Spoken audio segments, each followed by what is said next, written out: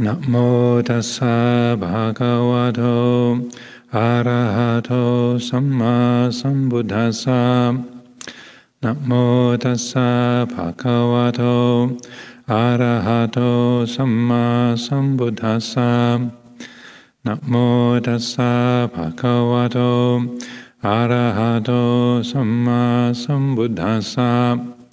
Buddhang dhammang sanghang.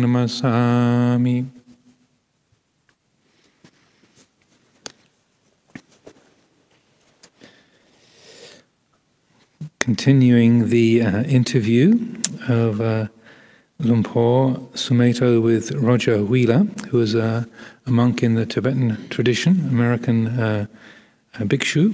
And uh, the interview took place at uh, Insight Meditation Society in 1981, so 40 years ago. And uh, for those of you who are new to these readings, new to these readings, this is volume two of the Luang Por Sumedho anthology, Seeds of Understanding. This is part five of the interview. Roger asks a question. In your position as abbot, how would you instruct your monks to prevent the possibility of taking things for granted, especially receiving charity from lay supporters? How do you advise them to guard against things becoming routine, matter of fact, secure? The feeling that it's just a nice, comfortable life. And Paul responds, Well, it's not, ex- not exactly a comfortable life. So this is 1981. Chithurst didn't even have a shrine room at that point. We, uh, what's now the reception room there, that was, that was the shrine room. The house was filled with dry rot. Uh, the nuns were in the little cottage uh, down by the lake. Um, I think they were in the process of converting the uh, the fishing shed to be a shrine room. it was a pretty basic, pretty basic accommodation and uh, amenities, and so that um, uh, Luang Por was not exaggerating, saying it's not exactly a comfortable life. We were sort of uh, during that that period when we were clearing out the dry rot. There was a certain point where you could stand in the basement and see through the tiles uh, to uh, you know, see the the uh, sunlight coming through the roof, you know, through the from the basement through the ground floor, first floor, second floor, and up through the, the tiles of the roof, so that the, the whole house was a building site for a, a long, long time. So uh, the Luang Por is not uh, overstating the case that it wasn't particularly comfortable. Well, it's not exactly a comfortable life. In England, the problem doesn't lie in sinking into a routine because there's no tradition there to sink into. It's new and fresh. So it's not the case that one can really sink into anything. In England, there isn't the security that there is in a Buddhist country. Life as a monk in Britain is risky, chancy. It's not guaranteed. So one needs to be much more alert. Whereas in Thailand, one can take things for granted because life as a monk is so established and secure there. All one can do is to encourage and keep reminding people because they forget. But how they develop is really up to them. As they say, you can take a horse to water, dot, dot, dot. That's all one can do. And Roger responds Yet for some people, there might be a gap between their own tendencies and inclinations and the ideology that they are following. How can that gap be bridged? And Paul responds that's why one has to allow people space. That's the real value of the monastic life. One has to allow people the time and opportunity to develop, rather than expect them to make great changes all at once. Some people understand immediately, for others it'll take years. That doesn't mean teaching only the ones who understand immediately. They don't need to be taught very much. In the monastery, one can also provide a place for people at least to live a good life in a wholesome way. Eventually, something will filter down to them. At least it's good karmically. One isn't doing any harmful actions. That kind of environment encourages one to do good and refrain from doing evil. It's a moral environment. The emphasis is on paying attention, being alert and watching, confronting one's life as one experiences it, looking at it and learning from it. How determined and resolute one is in the practice is an individual matter. Some are very quick, Others are very slow. Some are neither quick nor slow. In the monastery, one can allow for the fast and the slow. It's not that one is selecting only the best, the quick ones. The advantage of having a monastic community is that it gives many beings the opportunity to develop. Some may not ever be enlightened, but at least they can develop harmlessness in their lives. Oh, this is a, a very um, a significant principle and uh, has been part of the mix of Buddhist monastic life training ever since the uh, the earliest days in the time of the Buddha, and uh, in uh, um, in amongst the many lists uh, in the the Buddha's teachings, uh, you have one particular list that talks about um, the different experiences of practice. One is quick insight and comfortable practice and there's quick insight and painful practice, and there's slow insight and comfortable practice, and slow insight and painful practice. so you can write your name in wherever you feel you particularly what you can identify with. Um, and uh, another another one, um, uh, a, a, kind of uh, assessment of the different um, propensities or different uh, potentials or skills that people have in, in monastic training, spiritual spiritual training, then uh, when the Buddha was talking with a horse trainer called Kesi, then uh, the uh, they're talking about the comparison of training people in spiritual life and training horses, and um, the the Buddha asks Kesi, the horse trainer. Um, uh, you know, how do you gr- grade the different kind of horses that you that you train? And he said, Well, there's, there's really four different kinds. There's the kind that, that moves at the shadow of the whip. You just you lift up the whip, and as soon as they see the shadow of the whip passing their eye, then they're ready to go.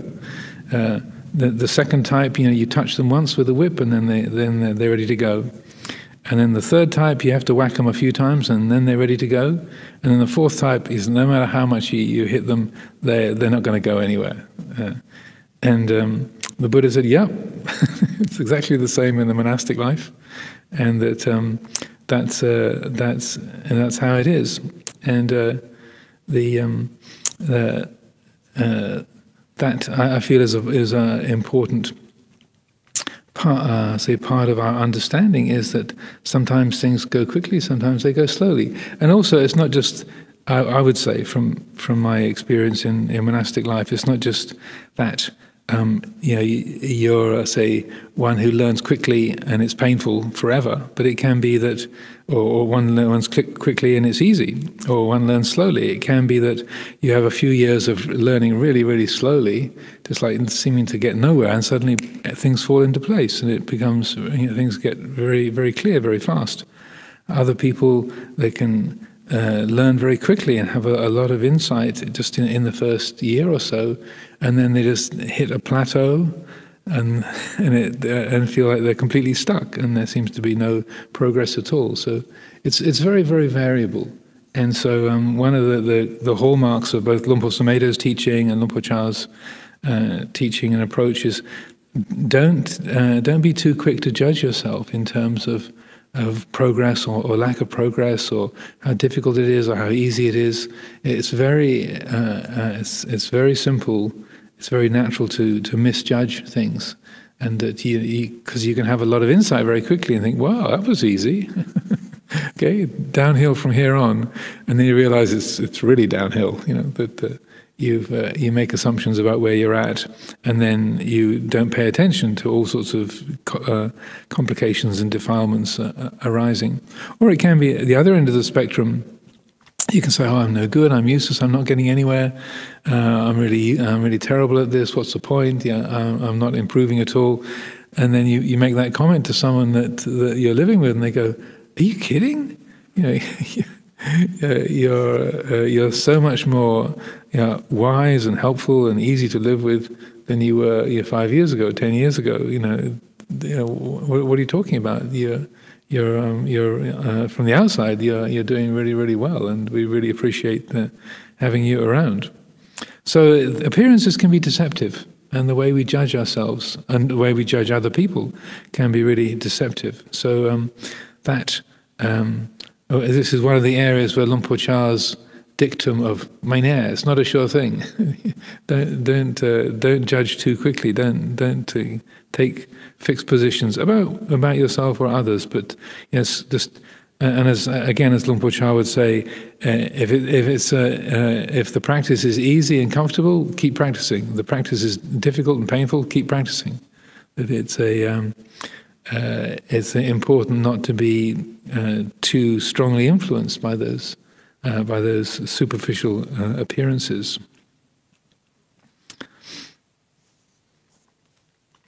I remember there's also a. Um, I remember many years ago, uh, Luang Por Panyananda was giving a talk here. Along with the, the the the four types of horses, they also talk about lotuses in the scriptures. That there are some lotuses uh, are born and, and, stand out of the water and blossom with the flower uh, clear of the water. Some lotuses uh, uh, are born and the and the, the blossom flowers on the surface of the water. Some um, uh, some are, are, are, born and then they they flower uh, uh, underneath the surface of the water, and then and then Luang Por Panyananda had this very very kind of even tone of uh, the way he spoke, and he said the fourth type, turtle food. and there was a, so a ripple of of, uh, of laughter went through the. He was giving the Dhamma talk in the sala. And he had this sort of completely sort of, um, even expression, turtle food. So that uh, again, we can think, oh, that's me. I'm turtle food, you know. Yeah, but um, I think that uh, is a. Um, uh, it's good to see how the mind makes those judgments, but also that um, that they even in the Buddha's time he could see that some people were around the monastery and they, they would show up for things but they really weren't learning they're just so filled with their own opinions their own rightness their own um, you know, their own uh, habits and and um, just uh, there was no uh, no room for them to learn. Luang Por Chah would say it's like trying to pour uh, pour water into a, into a glass that's already full. And um, and so that uh, when uh, when the Buddha asks uh, the horse trainer Kesi, those fourth type of horses, the ones that uh, no matter how much you, you, you hit them, they, they don't go. What do you do with them? And then the Kesi said, "Well, we kill them and then just use them to feed the dogs with." And then he asked the Buddha, "What do you do with them?" And the Buddha said, "I kill them too." He said, "But venerable sir, surely you know you." it is inappropriate for you as a monk to, to take the life of your monks. And he said, uh, I killed them in the spiritual life. And they said, Well, how do you do that? And it's, and it's a very it's an unusual expression that the Buddha is using there. And he says, I don't offer them admonition. That uh, they are, you know, they're so filled with their own opinions, their own uh, uh obstinacy, and uh, they they can't learn. So the the way that uh, he quote unquote kills them in the holy life is to not give them instruction, to not give them admonishment. And that itself is, I think, is a really important teaching. It's like, okay, you're so right, you're, you're so sure of your own goodness, and you, you're so sure that you've got everything sorted out, and you got, you can't get anything from anybody else. Fine, you're on your own. And uh, so it, it uh, I, I find that's a very sort of powerful, powerful message in its own right, and. Uh, that uh, and that's how the, the the Buddha would relate to people who are you know, really unable, unwilling, uh, and uh, incapable of learning. It's like okay, well, off you go. It's uh, it's your own business, uh, and um, that uh, um, it, it, also shows us how, how important it is for us always to be ready to learn and not to be filled with our own rightness or our own uh, our own uh, views and opinions, our own habits, our own our own judgments, and take our um, say our own perspective of things as being absolutely true, and, and that um, no matter what anybody what anybody else says to you, then your response is yes, but, yes, but, yes, but, and uh, and so sometimes it can be that way. I mean, in my own experience, I think I, I can only think of one or two people where I've really just said I'm sorry, I just I, I can't give you any more time. I just there there is there's no space there. You know, you, you keep asking these questions, but everything I say, it, you just respond by yes, but. There, so, you know, I, I'm not trying to be stingy or unfriendly or uncompassionate, but I've got other things to do with my time. There's the door. And I, I really, I've only done that maybe two or three times with two or three people over the years. But, sometimes, and it's really an echo of that same thing. It's like, look, there's there's no space there. You know, so you know you're you're on your own, and uh, it's not pleasant to do. Uh, it's not uh, something that one relishes at all. But it, it also it's it, it's it is its own message. So sometimes that's the appropriate way of uh, relating to situations. Anyway, to continue. Luang Por carries on. In Thai monasteries, very heavy, quote unquote, people sometimes become monks, criminals and the like. For them, monastic life is a refuge where they're encouraged all the time to do good. Whether they attain enlightenment or not, who knows? At least it's a more skillful way of dealing with, with these types of people who have enough faith to become monks than to lock them up. Some monks talk about their past, which can be, which can be quite shocking. When one asks them why they are monks, they answer, I have faith in the Buddha's teaching, and it's the only way that I can break free from my old ways and habits. In worldly life, they tend to get pulled back into their old patterns.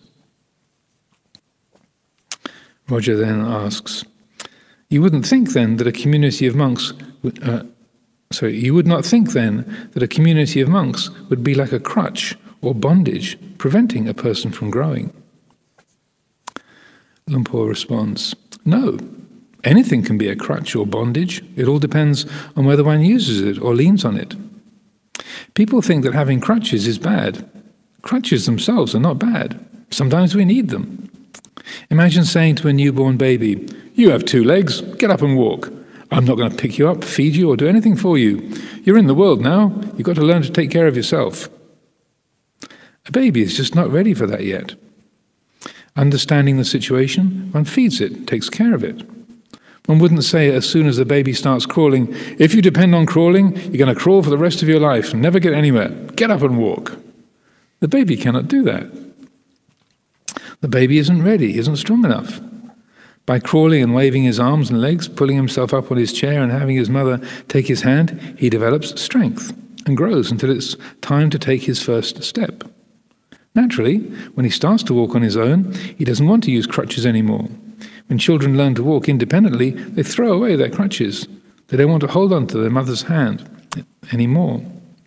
In the spiritual path, too, crutches and refuges are sometimes deliberately provided for strengthening. When one is strong enough, one starts to walk independently.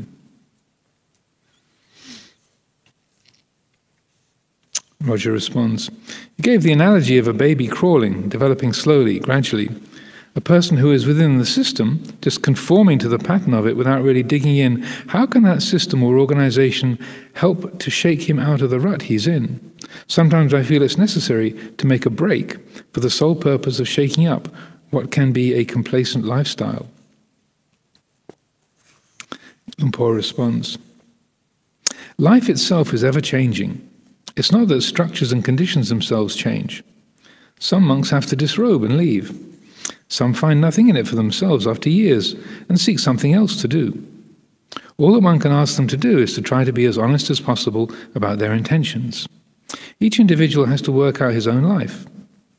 If someone feels he's had enough of monastic life and wants to go another way, that's quite all right. It's his choice. But one should be honest about one's intentions rather than just using an excuse. That's important. The only thing that isn't nice to hear is when someone leaves the monastic order but isn't honest about why he's leaving. One may justify one's leaving by criticizing the tradition, but sometimes people leave owing to justifiable, serious doubts. So also it's notable that this uh, he's talking about monks all the time and hardly mentions nuns, if at all. Uh, this was 1981, so I think Ajahn Chandasiri, you'd been in robes about less than two years. Yeah, about. So the uh, there was uh, I think Chintamani was in with you by then. Yeah. So there was all in white. So there was only four or five Anagarikaras in the community. So, and then when Luang Por Sumedho was living in Thailand, the the monks community in in the Thai monasteries is completely separate from the nuns community. And I, remember Luang Por making the comment that he uh, he couldn't remember having had more than one or two conversations with a nun in the 10 years that he lived in Thailand. And I think that was probably with Sister Kamphar, who was an American nun. but the, uh, I think I don't know whether he ever had a conversation with one of the Thai nuns at Wat over over all those years. So it's, it's a very very separate, uh, different uh, pattern of life than we have here in in the West. So when he uses when he uses monks, uh, and we're talking about monks' life, I think it's good to just translate that to refer to everyone in monastic training. But uh, at that time, it was very much a um, uh, his experience and, and his his own sort of monastic environment was was very much um, tied up with the male monastic community. Um, so then going to that. Um, so yeah, the, the Siladhara community that was founded two years later, wasn't it? Summer of '83. Yeah. So that uh, that was still uh, to uh, to arise in the world at that point. So it was a, a long time ago. But I feel just uh, um, on this this particular point about people choosing to leave the order, um, it's one of the, the things that. Um, I feel is a strength of the uh, the, the Theravada tradition. it's it's it's changed a bit in, in some countries, like in Sri Lanka. It's quite a disgrace for people to, to leave the monastic life once they've picked it up. But in uh, other countries like Thailand and Myanmar, Cambodia, Laos, uh, the other Theravada countries, uh, it's quite natural for people to join the monastic community for a time, to live in the monastic environment, and to step out of it if it, if it doesn't work for them anymore. And I've, I've always felt that's a, uh, that's a very healthy system um, speaking with various uh, Christian monastics. So it's less the case now, where it's easier for people to leave monastic life. But back in the these early days, or 60s and 70s, uh, in that era, and, and obviously the, the centuries before, for a Catholic, a nun, or a monk, you actually had to get a dispensation from the Pope in order to, to leave monastic life. It changed with Vatican II in 1968, I think. But prior to that, it was really um, uh, uh, very, very hard to leave the order. And I think in Orthodox Christianity, very similar, very, very hard to leave. But what you, you find is that um, that in this way, people don't get trapped in monastic life. That they they they uh, they're not sort of there because they, they have no way out, um, but they can leave with good grace, as and when the the the, the situation no longer works for them and uh, it doesn't prove to be a, a beneficial and valuable environment. And um, but I, I, would also echo what what Luang Por says here um, about being honest about why you're leaving, and uh, so that that's always a bit trying when somebody is uh, uh, trying to make out that it's um, some kind of uh, much sort of higher spiritual calling for them to leave the monastery life, and um, and uh, you know, it's, not, it's not the case for everyone. And as Luang Por says, sometimes people have you know, genuine, justifiable, and, and, serious doubts. And I'm not trying to to mock people at all. But sometimes when someone's leaving and they're trying to make it sound like um, they are, uh, say, following some higher purpose, and you really know that, uh, of underneath the the the surface, they're just they just want to go out and have supper or have a relationship or just they want life to be a bit more colorful and that uh, and they just can't say that. Yeah it's just uh, and that um, you think well, and sometimes when somebody says um, like, uh, uh, I've been I've been doing this for, for 15 years I feel like I'm in round 45 of a boxing match can I can I go now please I mean, yeah, isn't isn't the fight over? I've been knocked down so many times. Please, can I uh, can I just go? And you think, yeah, of course, fine. No, you know, they're just tired of, of getting knocked over again and again and again, and and um, and this, I just can I just do something different? I just I'm just tired. You know, this this isn't working, and I just I just want to go. And so when somebody is very honest and straightforward in, in that fashion then you feel very, very supportive of that. And so it is more difficult when someone's trying to make all kinds of of reasons why it isn't really just um, anything very mundane or worldly, but they're sort of their mind goes into a, a lot of complication and self justification, and and that uh, and that makes it uh, uh a, a, more uncomfortable leaving. so you know, I'll, I'll, pause there for a bit and um, ask if there's any questions or comments. Uh, there's some the microphones available. Oh yeah, there. so please, if anyone has anything to ask or to to comment on that first part, don't be shy.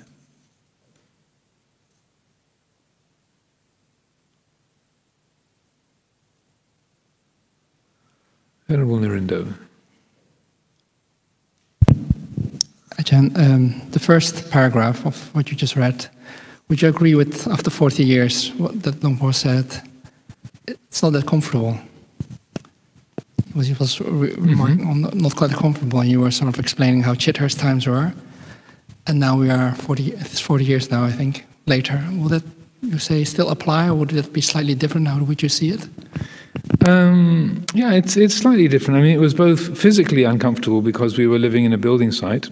I think the nun's cottage was a bit more cozy. Bit. it was kind of cold and damp down there, wasn't it? right down by the by the by the riverside.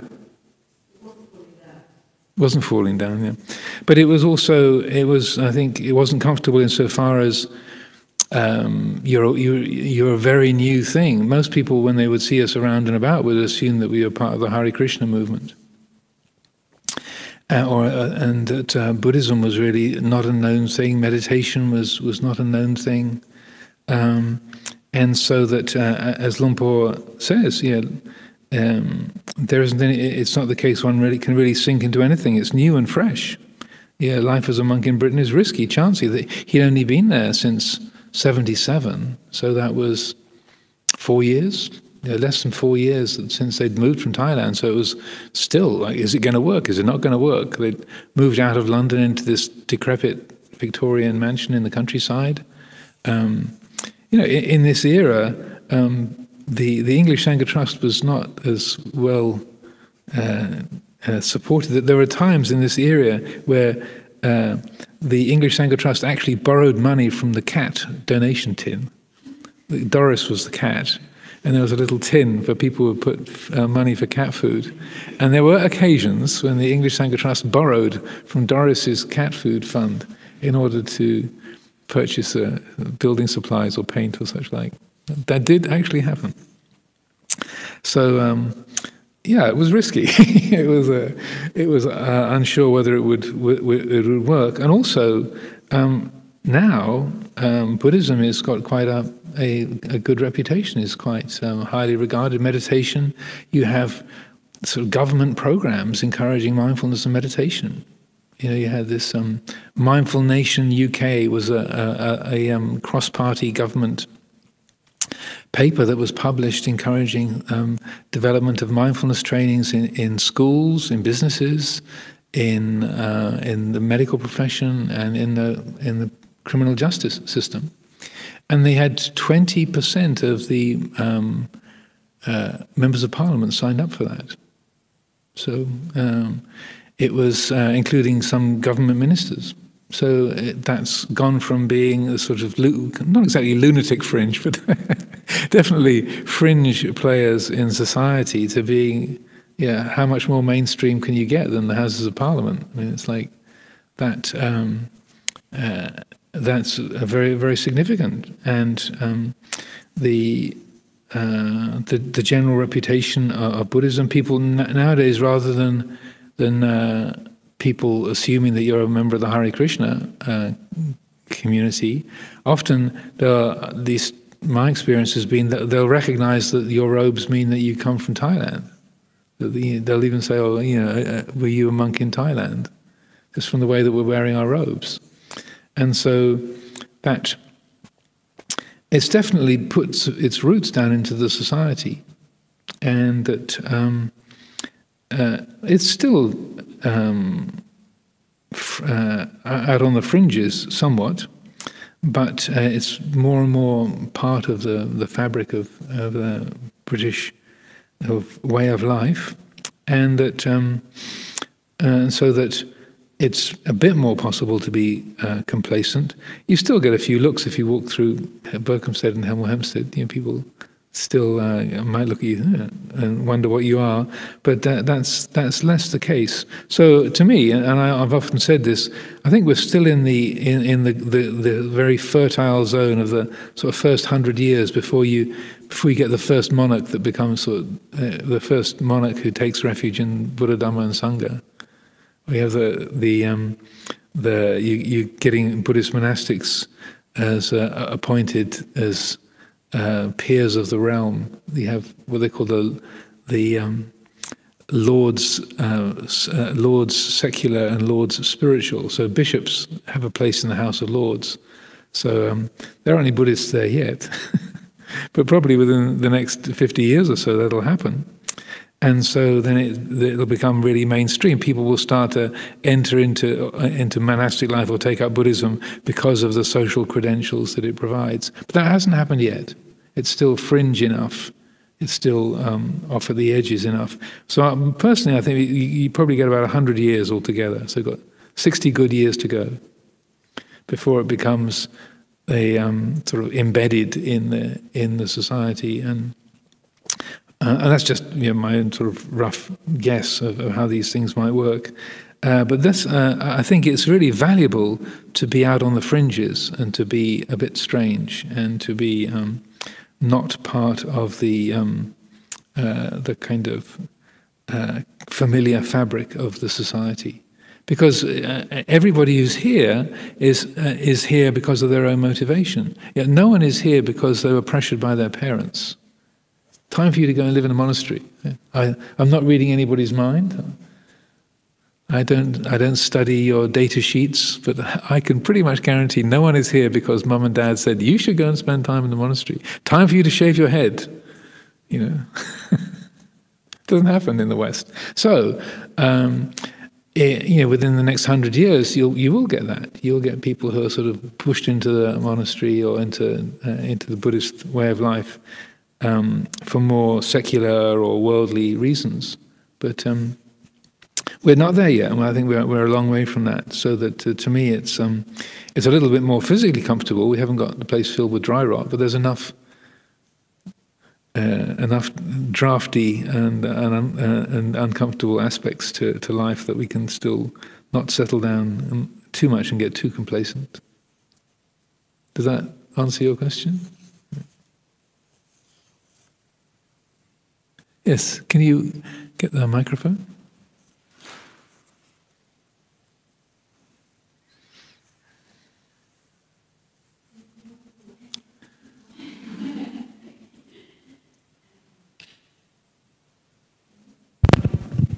Hello, Ajahn. Um, you mentioned um, sort of um, monastics moving on, and you mentioned also um, the rate in which you learn, how fast and how slow you mm-hmm. learn. Um, the question is is um, mm, what have you seen that shows someone um, learn the lessons quickly, and what less what sort of things have you seen where you think, oh, they're not getting it because of such and such. I'm not sure if that question makes sense actually, but yeah, just from your experience, what have you sort of seen that shows somebody's um, mm, getting it? Yes, and not getting it. Thank you. uh, it's a good question. I, I, try not to judge people uh, for the, exactly the same, exactly the reasons I was describing, because appearances can be very deceptive. And that, and in the past, where there have been occasions where I thought, "Wow, you know, that person's there. They're really quick on the uptake," and like, "Oh my goodness, you know, he's settled in really fast." And then, "Oh, he's gone already. Oh, right. Well, yes, indeed." so it can be very deceptive. So I try not personally. I try not to judge. Um, and that uh, and sometimes people say oh this is really great. This is my best place in the world. And uh, i'm really getting a lot of monastic life. And so uh, i'm going to go home. Oh. Did, i thought you just said this was really great and you're doing really well. Yeah this is really great. This is the best place and i'm doing really well but i think it's time for me to go home. Okay. So you um, you can't really um, make reliable and dependable judgments. I find, but it's gen- in response to your question, it's generally that people are not just having less suffering, but more that they are much more capable of working with their suffering. Because um, somebody can have a lot of, like, you can painful practice with slow result. it can be really hard work. But if, when talking with someone, um, you're seeing, okay, it's really difficult for this person, but um, they they're they're working hard with their with their experience of dukkha, and that they are they're learning from that that they are, they're working, they're ready to work with uh, the difficulties that are there, rather than just wallowing in it or blaming others or just sort of shutting down and or spacing out. And but that sense of um, of uh, of uh, oh, they, you know, they're they're really sincere, they're really uh, dedicated to, and and, um, working as best they can with the the difficulties that, they're meeting. So, so, that's again, you can't tatiyampi, you can't make assumptions. Um, but generally, it's uh, people are ready to acknowledge the, the dukkha that they're experiencing and the readiness to work with it. And whether it's a lot or a little is a bit more secondary. That's how I would say is the, the, the key characteristic. But uh, yeah, it's um, it, it's very deceptive. So, uh, and and I I personally I just don't. Uh, after a few of the, the, those kind of judgments I made a number of years ago, that was sort of back in the early days of, of Amaravati or Chithurst, and uh, I think I've learned from then. Because also I wasn't in the role of teaching, and so I wasn't so much sitting down with people and hearing what they were talking about in terms of their practice. Uh, uh, and so you, you, didn't really hear so much of what was going on within. Uh, but I'm more in the, the role of, of teaching and uh, um, having conversations directly with people about their spiritual life, and so that then um, that is a bit more informative, and you have a bit more of a complete picture. Could you use a microphone? just so that everyone can hear the question. I really didn't get the bit about the fourth lotus being food. Uh, turtle food, so that it's a oh turtle food. turtle food. Okay. So that it does, it never even flowers under the water. I thought you said total food. Tur- turtle. Turtle. Tur- turtle. Turtle food.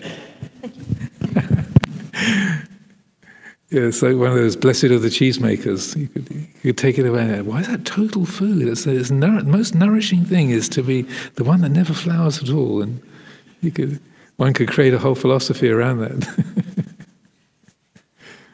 okay, I'll continue. Uh, Roger asks, as abbot of Chithurst, how do you advise your monks to view ceremonies and rituals that might seem rather remote from the actual practice? So I also note the, the way he asks the question presumes a certain that ceremonies are not the actual practice. So there is a presumption I would respectfully point out that is there in the way in the way he asks the question. Luang Por responds, I personally like rituals. They are pleasant they are quite pleasant to do. They're calming. One does them with a group of people. It's doing something that is pleasant, together, and in unison. The intention is always good to radiate kindness and to chant the teachings of the Buddha in Pali. Ceremony tends to uplift and inspire the minds of many people. That is its only function, as far as I can tell. I think it makes life much more beautiful. I've seen Dhamma communities which don't have ceremonies. They're a bit gross, actually. Gross? Gross. People just don't have a sense of etiquette, a kind of refinement, a lovely movement, the sense of time and place that one has when one, when one understands the value of precepts and ceremonies. They have their beauty. The bhikkhu's life is a kind of dance one does. One learns to move. The life has its own beautiful form, which is a way of training the physical form in beautiful movement, the mental and the physical combined. However, it's not an end in itself. It can become silly if it's an end in itself, and it's not necessary either. If it doesn't fit or if people don't want it, then it shouldn't be used. It's something one can use or not use according to time and place. If one has never used ceremony or doesn't understand its purpose, when one is faced with a ceremony, one might reject it, thinking, I don't like it, or ceremonies are wrong. But they aren't. There's nothing wrong with ceremonies. To feel one should not have ceremonies is just as much an opinion as to feel one should. It's not a matter of having to say one should or shouldn't have them. They're a part of our tradition, so we use them if they're appropriate. If they're not appropriate, we don't use them. This is a matter of knowing rather than having opinions. So, very, very much a case in point now, since we have the COVID 19 uh, social distancing, we're not allowed to spray uh, our devotion into the air, but uh, just keep it internal. And um, so, right now, a lot of chanting is not uh, is not appropriate. So, we have very. I've never lived in a monastery with with such a minimal um, ceremonial devotional uh, lifestyle uh, as we have done during this last year or so since, since late March. We just think the the chanting, uh, uh the Anumodana at the uh, at the mealtime, and then uh, the the Purusha chanting on a Sunday morning. That's that's it for the apart from the closing homage the end of the morning and evening meditation. So it's it's very very minimalistic at the moment, but that's that's the, the pattern of, of life at this time, as necessitated by the by the pandemic. So um, I'm, I'm, sure a few of us will think, oh, it'd be nice to do more chanting. I'm looking forward to when we can do more chanting together because of the inspiring and energizing quality of it. But uh, as Luang Por points out, um, if it uh, if it doesn't fit or it's not uh, it's not essential, um, then we can leave it aside. And so that that kind of flexibility in relationship to it and seeing it as a, a skillful means, then that's that's really a part of it. Uh, and again, I think that uh, Roger Wheeler was was struggling a lot with his own uh, life in the Tibetan uh, monastic tradition, and also perhaps from the the way that things have been put across to him in terms of um, what you should do uh, as a as a, a gelong, as a as a, a, monk in the Tibetan tradition, and the the value or importance or essential quality of ceremonies and, and such like. So, uh, as he goes along, he's getting a, continually getting a, a, a, different perspective on both the Vinaya discipline and the the ceremonial ritual aspect of one's life, and then. Um, the, uh, as we go along, he's sort of getting more and more of the the perspective from from Luang Por um, of a, a very different ways to relate to form and tradition and uh, these kind of structures.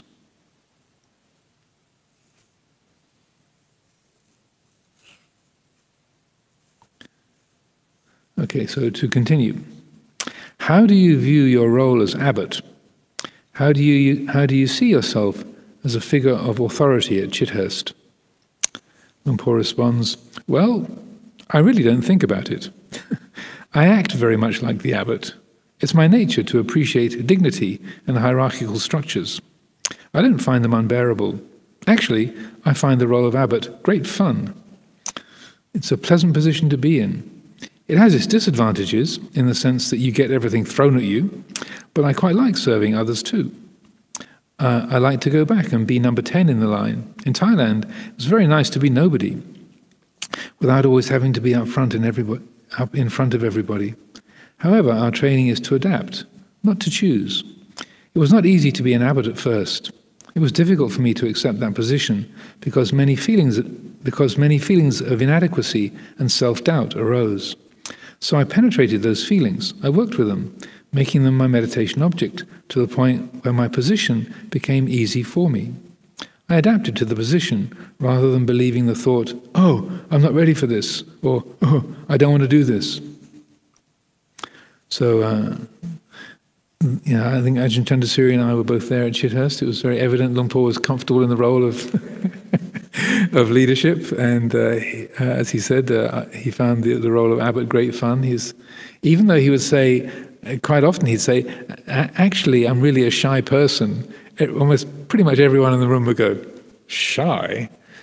Uh, because he seemed to be so confident and, and, com- uh, and comfortable in front of everybody and, and, in that sort of leading position. Um, but uh, it, it, was something that he uh, he could do very very well and has served uh, uh, the um, the lives of many many of us and hundreds thousands and thousands of us over over the years that he has been ready to take up that central position and to to lead and to, to speak from that um, but just uh, prior to this, in early 81, I think January, February of 1981, he'd been back to Thailand. I think you were on that trip as well. And so um, that would have been the first time he was actually able to sit in a line of, of monks and not be number one for a long time. That he was uh, not so senior when joining with the community in in Thailand, and that had just been three or four months before he was there in the in the states with uh, with Roger Wheeler. He um, he did shy away from taking responsibility for being in a leadership role. So when he says it was difficult for me to accept that position, he was the first Westerner to, to go and train with Ajahn Chah. And, um, and so when uh, he arrived in 1967 uh, at Wat Pah Pong, um, and then he was there uh, uh, on his own for some time. And then a few other Westerners came along. Jack Kornfield um, was a monk there for uh, some time. Uh, a man called Douglas Burns was there um, uh, as a monk for some time. Chris Cook, uh, Dhammaguto was there in the, that same very early 70s. And then uh, a few more came along, um, 72, 73. So that was when uh, it was Ajahn Pabhakaro, Ajahn Santacitto, Ajahn Pasanno, Ajahn Khemadhammo. They or Ajahn Worapanyo, they all came in the early 70s. So uh, as a, a, larger group of Westerners started gathering, then uh, Luang Por Chah would regularly ask uh, Ajahn Sumedho to be the translator or to take responsibility for, for guiding the the others. And I think it was in the the, the Rains retreat of 1972, he sent them all off to Tam Sang Phet, which is a branch monastery. Um, about 40, 40 miles or so um, north of uh, Wat Pah Pong in the little uh, province of Amnat Charoen. And uh, it was a branch monastery with a, a, a, a um, it was unusual and it had a, hill uh, um, uh, and stood up from the, the plain of northeast Thailand. And so that uh, the, the Westerners were sent out there and uh, uh, Lumpur Thun, who spent the rains retreat here, um, not last year, but the year before. Um, he was the abbot um, of the upper monastery there on the top of the hill. And then also uh, Luang Por Liam, who's now the abbot of Wat Pah Pong, uh, Luang Por Chah sent him along as well as a sort of uh, mentor and, and so, uh, support. Um, but that was the first time that uh, Ajahn Sumedho was in the position of, of leading a, a group of, of, Westerners together. And so there was about five or six of them all at, at Tam Sang Phet and that was really quite a struggle for him. So as soon as the rains retreat was over, he found a really good reason to be somewhere else, and it took off for central Thailand, and um, so that uh, it, it, took him some time to, to sort of get uh, get into that that role uh, uh into that role of teaching and leading. And as he said, it was difficult for me to accept that position because of many feelings of inadequacy and self doubt. And so um, that uh, um, that was the first time that he was in a position of leadership in the monastic life. And then he, uh, after he'd, he had gone away and then um, went to central Thailand, he went on pilgrimage to India. And then, as many of you will have, have heard him mention, or you see in his other Dhamma books, it was when he was traveling in India at that time, I think that was 70, um, uh, 73 or early 74. Um, then this very profound gratitude uh, rose up within him, and he really, uh, really sort of felt, sort of down to his bones, um, the um, appreciation, gratitude for what he'd received from Luang Por Chah, from the tradition, and, and, it was a real change of heart for him. So when he got back from India, went back to Wat Pah Pong, then he, he offered himself to Luang Por Chah, saying, "Whatever you want me to do to help, uh, you just you just tell me, and I'll be uh, I'll be ready to, to do it." Uh, and so gave him, offered his life for Luang Por Chah, to, to use uh, in whatever way he could serve. And then it was um, in the uh, early 75 then that um, he went off with a uh, with a group of other Westerners, and then they were passing. They were going off to to do the bowl firing, and they went to um, the forest at Bung Wai uh, and uh, the villages there. It's only about six or seven miles away from from Wat Pah Pong, not not too far. But they they went to uh, camped out there in the forest, uh, and uh, the villagers asked them if they could stay. And so then that was the foundation of Wat Pah Nanachat. And then the villagers very quickly built a, a couple of kutis and a small grass roof sala, and they uh, they got permission for the Westerners to stay there. So the the very first rains retreat at Wat Nanachat was 1975. So by that time, then uh, uh, uh, Luang Por Sumedho was a bit more ready to be in the uh, leadership role, and uh, had sort of uh, taken that taken that on. But he still had um, uh, say it was still a, a bit of a, a challenging uh, time for him, but he um, he stuck with it, as we know. Otherwise, we wouldn't be here. uh, and so that uh, it was um, he, um, say by the time he got to, to Chithurst and was leading the community there. That was um, uh, 1977. He came to England, and then 79 Chithurst opened. So he'd been in that role of leading a community of Western monastics for um, for quite some time, you know, five or six years by then. So he started in 75 at, at Nanachat, and then this was 1981 when he has this this interview.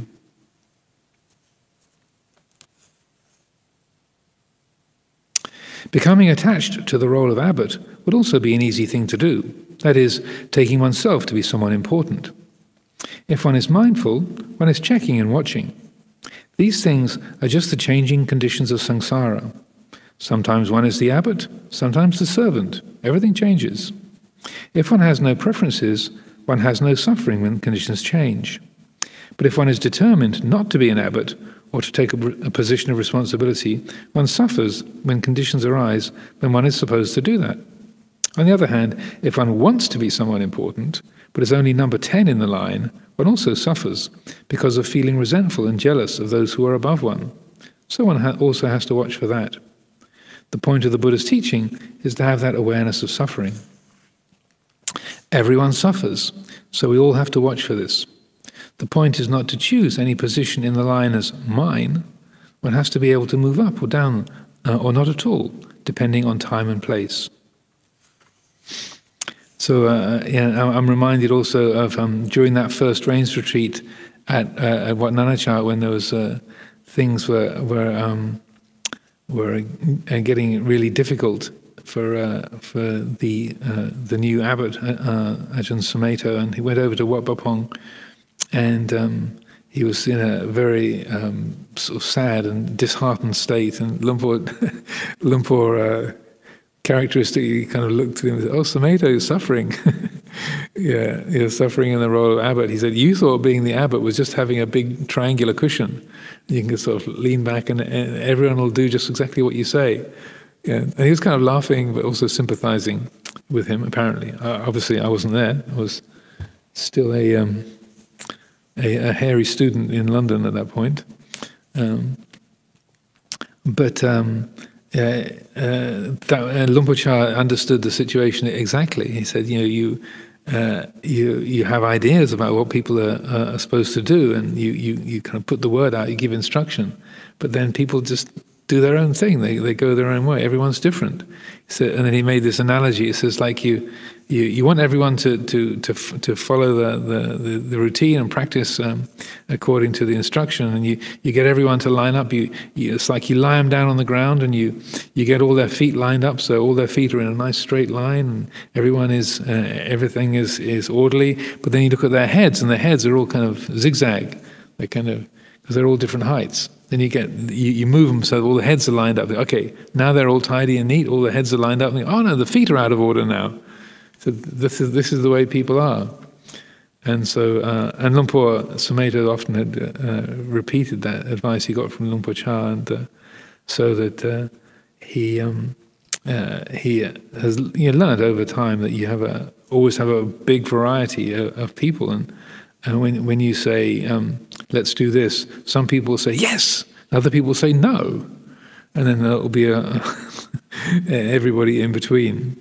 But um, but I do feel that this uh, principle of um, uh, adaptability is very important. And, and if you see that you you're really shy of leading, then uh, it's really a stretch.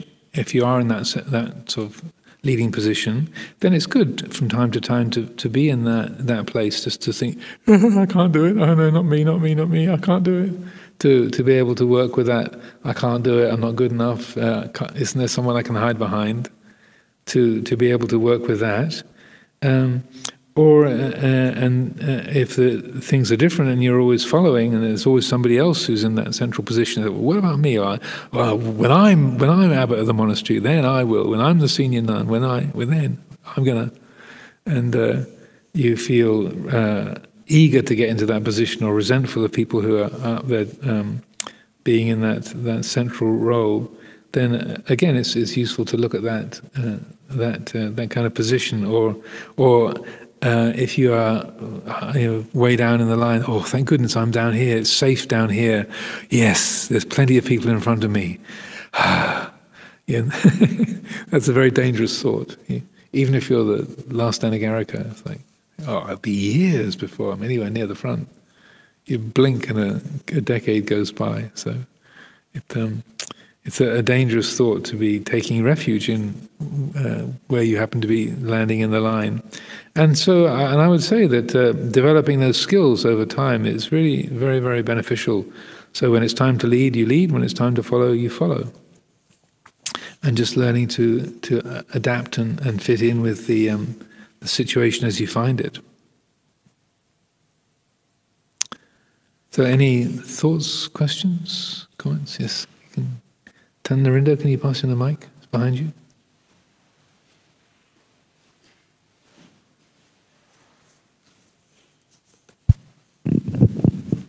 Yes, Ajahn, I was uh, wondering that Vasa in Tom Sang Pet, mm-hmm.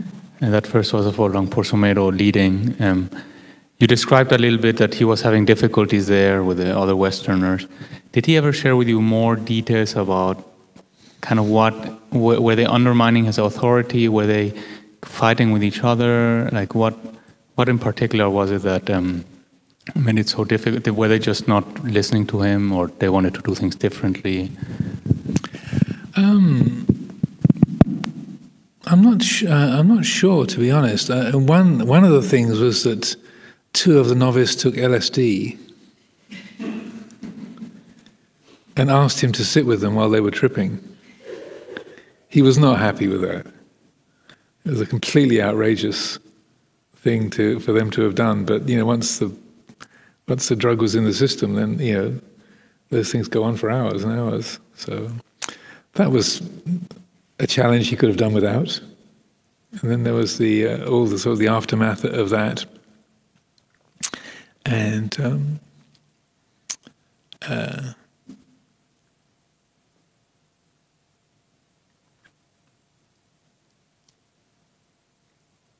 I think the um, the the degree to which uh, people had their own uh, opinions about how to practice, and then they were getting to to um, uh, spend a lot of time and energy uh, discussing slash arguing about what the right what the right ways to practice were and such like. I'm not. Uh, I mean, when Luang Por gets here, it'd be a good question to ask him.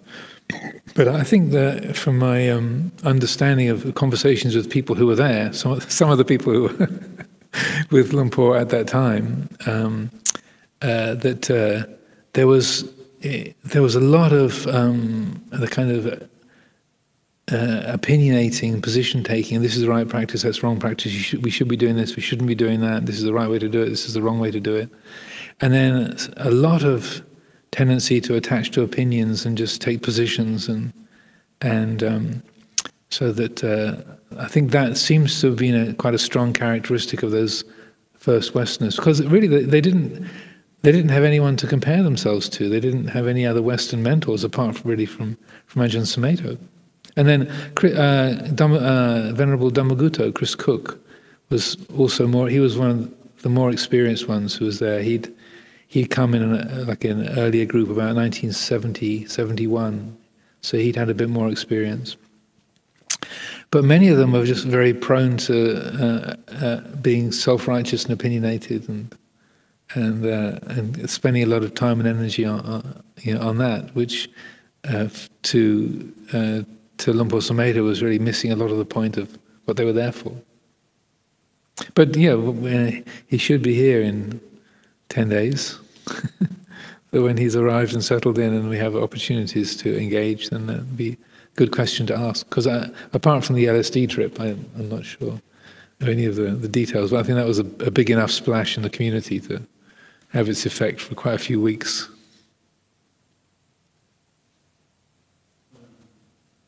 So, so in terms of them, um, see, I was wondering if would they maybe he, he hasn't shared this, but um, see him as an equal, and because he was quite junior, kind of maybe wanting to uh, just not respect him, but I mean, I guess I can ask him when he comes. Um, yeah, again, I, I, don't want to guess too much. Many of them were Americans, and so having a very sort of egalitarian mentality, and um, would uh, wouldn't have really looked up to him as a teacher, or that or that seniority wouldn't have meant so much, um, and so that that um, but I, I think uh, that sense of him, in a way, having to be responsible, and then people not not listening to what he was, not taking his lead or not following his his guidance. That was, I think, just very frustrating. And also, as he points out in this this interview, that his own feelings of inadequacy, like that he didn't. Uh, necessarily feel like he was that much of an expert, or he wasn't. Luang Por was not there, and so he's he's a hard act to follow. And that also that say, well, Luang Por, Luang Por wouldn't want us to do that, or Luang Por said this, or Luang Por does that, or and that that's something that, that very easily happens when you've got a very powerful, strong, and clear um, principal teacher, and that they're, they're not around, and that's uh, and so you would you would uh, and someone who's stepping into the role, then they get well, compared to the to the, te- the, the teacher, like say, well, well Luang Por you know, Luang Por wouldn't have us do that, or like, uh, I heard Luang Por say something different, or like, that's wrong, you know, he didn't say that, he said this, and so finding fault and and and going along with their own opinions, and then also I think because of the, the not to typecast Americans, but uh, it there, there's a uh, in America your uh, your conditioning in terms of your education and the society is very much to sort of to give voice to your own opinions and to self-righteousness is praised. You, know, you should you know, be self-righteous. I mean, maybe Ajahn Kachana might correct me on that, but uh, he's a. But it's a, it's a strong. Uh, you know, you're actually you're encouraged to sort of stand up and voice your opinions and stick to them and and, and fight for your opinions, and so that kind of conditioning has its effect. So even though uh, uh, Luang Por Sumedho was American too, you know, he'd been living in Thailand for uh, quite some time by then, since '66. So it was uh, he'd been there for six or seven years, seven or eight years, and so he was he'd been quite strongly affected by know, Thai ways of, of thinking and, and and monastic training. So then it was it was hard to work with that uh, opinionatedness and and uh, and also feeling that he he couldn't couldn't live up to the standards of, of wisdom and, and, and ease that Luang Por Chah had. You know, that was, um, you know, as I say, is a hard act to follow. I mean, not that you're trying to follow an act, but but he would also, or he would uh, probably judge himself against what Por would have done or how easily he would have handled it. And then uh, you know, the, the comment that he made about um, being an abbot, you have everything thrown at you. Um, yeah, I find the role of abbot great fun. It's a pleasant position to be in. It has its disadvantages in the sense that you get everything thrown at you. That takes quite a bit of ex- experience where your people um, are asking you to solve their problems or they're blaming you for things that are difficult for them, that you know d- decisions you've made or, or, structures you set up that they're finding challenging or painful or you, they don't agree with. So Por Chah would use this example. He said, "Is you know the, you think of the abbot or uh, the ajahn as being in a central position. You get the big the big cushion to lean against, yeah, or a soft mat to sit on, and you think, oh, this is easy. You know, just sit, sit there and, and tell people what to do, and, you know, and have a, a, comfy spot to, to park yourself. But he said, really, it's not just the, uh, being a, the ajahn is not a comfortable position. It's really your job is to be the rubbish pit for everyone to throw all, the, all their their garbage into. And in the old days in Thailand, the, the way a rubbish pit would work, there would be about three meters by three meters square and about, uh, about three or four meters deep. And because most of the things that the villagers used in the old days were biodegradable, just like bamboo and banana leaves, and um, that no matter how much stuff you threw into the into the pit, it would never fill up. It would rot away. It was a, and sort of went far enough down to be close to the water table, so that you could keep throwing stuff in, and it would never it would never get full. So being the rubbish pit um, for everyone to throw their, their, their garbage into is really the abbot's job, or the you know, if you're an ajahn, that and the the idea is you don't get filled up. Nowadays, with plastic and non-recyclable stuff, the, the, it, things get filled up much more quickly. But in the old days, that was part of the, of the imagery of it, is that it would that no matter how much uh, of people's sort of debris you received, you would still be empty. You know, there, there would you wouldn't be overwhelmed or filled up by that. But that takes quite a lot of skill and a lot of experience to to be in that position to to be receiving people's projections or um, you know, it, also it can be the, their appreciation sometimes uh, it's not all just criticism and difficulty the, or problem solving but for some people being praised and being loved is harder than being criticized and blamed you might be surprised but for, for some people having people really appreciate you and love you and uh, and uh, and say that they they they really uh, are um, sort of dependent on you. They can, oh, don't say that. That's that's worse than people complaining about you making stupid decisions or making their life uh, complicated for them. So, but that that is uh, just takes years and years and years of being in that kind of a of a role uh, and learning not to take it personally. And I think this was really the first time he was in that role and so I would imagine, just like uh, for myself, you know, um, you take it very personally. and it's very hard to do to receive people's criticism or praise or or or people's anguish you know that help me help me help me. I can't i can't deal with this. You got to do something. You got to help me. I, I can't i can't handle this. Please help me help me. And there might be you know nothing that you can really do. And but again you know you're uh, in the role of, of receiving that and having to, to work with that. So it's it's a challenging role to be in, and you can't just get it out of a book. it's a it's hundreds or thousands of hours of, of being in that kind of a mode uh, before you you really uh, there's a way of being at, at ease with that. But I see that it's now gone to eight minutes past seven, so time to wrap up for today.